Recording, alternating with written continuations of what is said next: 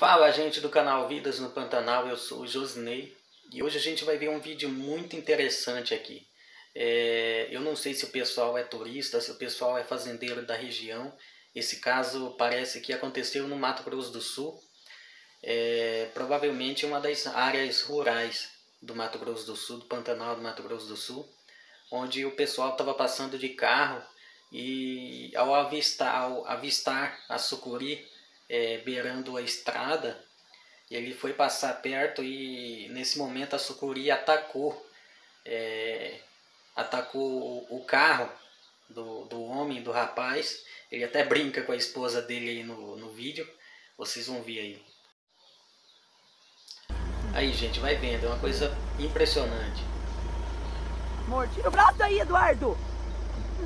Meu Deus. Dado, tira o braço. bote. Por favor. Ah!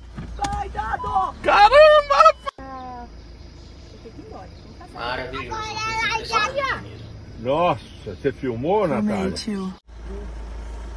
Vai vendo, ó, ó o momento que ele chega perto dela. Eduardo! Ela Meu já Deus. começa a ficar furiosa. Por favor. Ó o Ah! bote. Vai, Dado! Caramba! Tem que ir embora. Ó, do outro lado. Nossa, Rapaz, você filmou, Natália? pega o pneu do carro, hein? Meu Deus. Vamos embora, vamos deixar ela quieta. Vamos dar ré, vamos dar ré, vamos dar ré. Então, gente, é uma, é uma coisa que raramente acontece, raramente a gente vê. A gente que mora aqui no Pantanal é, do Mato Grosso, Pantanal Mato Grossense, é muito raro a gente ver uma cena dessa, é, porque normalmente a sucuri, a sucuri mais brava que tem Pantanal é a sucuri amarela, que fala, é uma das sucuri mais bravas que tem, principalmente no mês de agosto. É, o povo fala, o povo fala que normalmente no mês de agosto elas possuem veneno, mas eu, eu, eu acredito que não. Se, se algum biólogo aí estiver assistindo, é, comenta aqui esse trecho.